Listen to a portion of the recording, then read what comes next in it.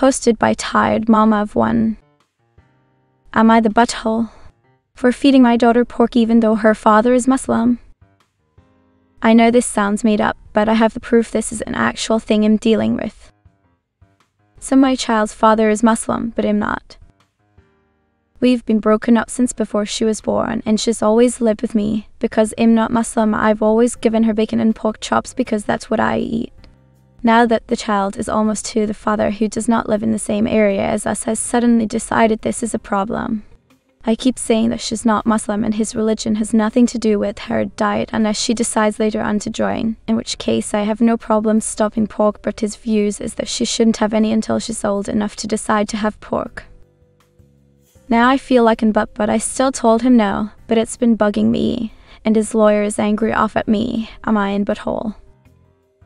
Should a non custodial parent's religious beliefs dictate the diet of a child who does not follow that belief? Oh, and I should mention that this child was born out of wedlock, so obviously he does not follow his religion that closely. Edit to add, I've seen a few people mention, so I thought I'd. I'd never dream about asking him to give pork to her on his time. That would, in my opinion, be completely immoral and reprehensible. His beliefs are his, and I'd never ask him to break them. Second, edit, we live in Canada. We have a temporary order, and am the one who has full custody. And now to the comments. Cotterprick commented, Not the butthole. You're raising the child as a single parent, so you decide what she eats until she is old enough to make those decisions herself. Also, considering you don't follow any other tenets of his religion in raising the child, getting hung up on pork in particular feels very random, almost like he does not actually care, but is just looking for a reason to pick a fight and bother you. Do they want to know 6,417 commented. You've been broken up since before the child was born. She lives with you, so she lives according to the rules and customs of your house. Her bio father is Muslim, not you and not your child. As he said, when she is old enough, she can decide for herself. His lawyer is angry off at me. Why is his lawyer so entitled about your child's diet? Is he Muslim as well? Not the butthole. LRKNSD commented. Not the butthole ha having a child out of wedlock has got to be a bigger deal than eating pork when you are not even aware of the concept of pork. OK Report 3201 commented. Not the butthole. If his religion is important to him, then he would follow all the religious tenets. The last time I checked, having erotic relations outside of marriage is not allowed. Also, being in a relationship with someone who is not a Muslim is not allowed either. Did you ever see him drink alcohol? If so, that's another strike against him. He does not sound like a good practitioner of his faith. It also sounds like he does not not share custody with you can choose how to raise your daughter since you are doing all the work and he is just another absentee father. Apocalypse Joe likes to add. Not the butthole if he wants to have a say in her life. He needs to be part of it, and he is not. Does he even pay child support? I would honestly tell him that he needs to stop or you'll be filing harassment charges. And if in the US, I'd even throw in the kicker that he can stop trading on your religious freedom anytime because you and daughter are not required to live by his religious standards. To the next post. Posted by Samson783. Am I the butthole for not letting a friend gatekeep coughing? I was having coffee with some friends, well, call them Ash and Beth. Beth is a huge coffee person. She has several different kinds of coffee machines and has multiple different flavors and brands of coffee at her house. I happened to see the bag for the coffee she was brewing that day and recognized it as the Bones Coffee brand. While we were drinking, Ash mentioned how much she loved the coffee and asked what brand it was. Beth replied it's a brand she found that can only be bought online. Ash asked for the name again, but Beth said she saw an advertisement for it on Instagram and she would just have to wait until she saw it herself. Ash, who does not really use social media, was visibly agitated, so I told her it was Bones Coffee. She said thank you for telling me, and the rest of the morning went by awkwardly. Later that day, I get a text from Beth saying it was in move to tell her when she was trying to keep it a secret. She said coffee is her thing and she is allowed to want to keep something for herself. I told her I don't think Ash is all of a sudden going to become a coffee aficionado just from liking one flavor of coffee, but Beth still insists I was in the wrong. I don't see how telling a good friend the name of coffee she likes makes me a butt, but maybe there is something in missing. And now to the comments. Astroprof commented, There is a type of person who attaches their social stature to how much unique, desirable information they can make others aware that they are withholding from them. Those people are assholes. You, on the other hand, gave away the goods for free, a bit like a journalist. Not the butthole. Alarming reply 6286 likes to add. Ha ha. Poor Beth. She's gonna be angry when she finds out coffee is also a billion other people's thing. Not the butthole. A comment from Shall We Start Then. Not the butthole your friend is being ridiculous. Nothing worse than a coffee snob. Current read likes to add. What a weird thing to gatekeep. I love tea of all different kinds of infusers and teapots, and if someone is like this tea is great. I'm like it's this tea you can get it here. Because it's a frickin' beverage, not a collectible, not the butthole. Contessa and Art commented. Not the butthole. OMG. Yes, knowledge is power, but man, she does not own the rights to the stuff she likes. That is the most selfish thing I have ever heard. Tell the coffee snob to not let the door hit her a dollar dollar on the way out. To the next post. Posted by Annie Wolf 134. Am I the butthole? For telling my sister that a comment she made is exactly why her marriage crashed and burned. My sister has been staying with my husband and I'm in our late 20s for the last week and some change. She and her husband have initiated the divorce process and she said she does not want to stay alone right now, which I completely understand. It would be very hard to go from living with a partner to a completely silent house. I opened our home to her before I found out why her marriage didn't work out. Now that the two of us have had multiple conversations about it, I am a little uncomfortable. There was no infidelity. There was no big scandal. What she told me is that her husband wasn't having sex with her enough. The things she has been saying have floored me. She says without sex, the two of them were basically just like roommates. She said she had been pushing for him to get a hormone imbalance test done because while they were still having sex, it wasn't enough. She said he had begun resisting even normal touches from her because, from his perspective, all she thought about was sex, which apparently isn't true. I am not sure I believe that. I can elaborate in the comment, but overall it just left me feeling sad for her ex and the disrespect of saying sex is the only thing that separates a partner from a roommate, not even a friend. I've done my best to be supportive, but I can't relate to the thought process at all. If my partner told me tomorrow that he wasn't up for sex for the next few weeks, months, or longer, I would just take care of myself and respect that. I love him and I want him to be the person I do life with forever. This all came to a head last night. My husband and I were having a typical lazy Saturday night, catching up on some shows and chatting while we lounged on the couch. His legs were in my lap, and I was kind of absent mindedly massaging his feet and rubbing his ankles. This was an innocent gesture. My sister came in, saw me doing it, and made a joke along the lines of butthole, OP, I didn't know you were into feet, or I didn't know you had a foot fetish. The exact wording escapes me. I couldn't help but feel put off at her sexualizing the gesture. Intimacy can be erotic, but it does not have to be. I told her so, and then said, referring to her divorce, he's sexualizing every interaction is why you're in the situation you are now. She called me a dick and left the room. I already know it was a little harsh, but I am unsure if it was tough love or too much. Am I the butthole? Edit, I appreciate everyone's recommendation, but I do not like the dead bedroom sub. See my comment here where I elaborate on why. And now to the comments. Purple Dragon likes to add, Not the butthole. That is weird thing to say to your sibling, and thinking every time you touch your partner it has to be for erotic reasons is screwed up.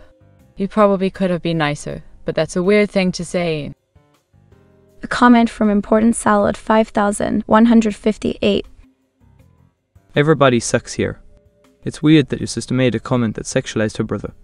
That's fucking strange. However, Why did you have to bring her failed marriage into it? She confided in you, you didn't agree, and you threw it into her face. There are so many ways you could have expressed your concerns about her reasons for her divorce without attacking her. A comment from Apocalypse Joe. Yay, you are a bit you the butthole. It really disturbs me that there are people who think that sex isn't important in a relationship because for a majority of couples, it is a very important aspect. If sex is one of her love languages, not being able to express that openly with a person who is supposed to love and support her can be a decimating rejection. If he is not even willing to touch her, that's a problem. If she is to the point where she wants him to go to the doctor, there is a bigger issue. This does not sound like a case where she is hypererotic. It sounds like she's feeling neglected and rejected by her husband. It sounds like she has a healthy sex drive and there's something potentially wrong with her husband, whether that be hormones, mental health, or an affair, especially if this is a drastic change from normal. If he's refusing to even find out if there is a medical issue, then yes, the issue is him. Stop slut shaming your sister for wanting her relationship to be healthy. Mothman NFT commented. Everybody sucks here. Her comment was entirely uncalled for, commenting on how other people express intimacy almost always is. But she is perfectly within her rights to not feel sexually satisfied and to want to leave a situation because of it. It does not make her a bad person and you a good person, how you'd each deal with the lack of sex. She is not cheating on him, she is not forcing him to be more erotic from what I can tell. She is handling this the way any unsatisfied person in marriage should, by letting the relationship end. He deciding to bring her marriage into his was uncalled for when a simple don't comment on our intimacy please would do. He decided to hurt her simply because he can't relate to her. You're also basing your feelings on an imaginary situation where the person you love is in a situation where they can't have sex with you for a reason. She was in a situation where nominally everything was average and she recognised that she wasn't getting enough sex to be satisfied and that it wasn't going to change. Apples and oranges, and I also find the comments crying about reversing it to be peak am I the butthole. Behaviour this question is about how OP behaved towards his sister. We know less than OP and OP does not appear to know much of anything about the relationship. Throwing the failed relationship in her face in retaliation to a bad joke is unreasonable. 1690 for 120 commented. Holy poop you the butthole. She made a slight joke, maybe one you found offensive. From my perspective, this is a light tease. Then you proceeded to go nuclear and use something your sister told you in a moment of vulnerability just to hurt her. She is going through a traumatic experience. She probably feels a ton of self confidence issues because her husband was resisting even normal touches from her, and you proceeded to pour love into the wound. For what? Because she made a light joke about a foot massage. The NTA people here are blowing my yucking mind. You owe your sister a deep apology. That wasn't tough love. It wasn't love at all. A comment from Mike Tispacanton.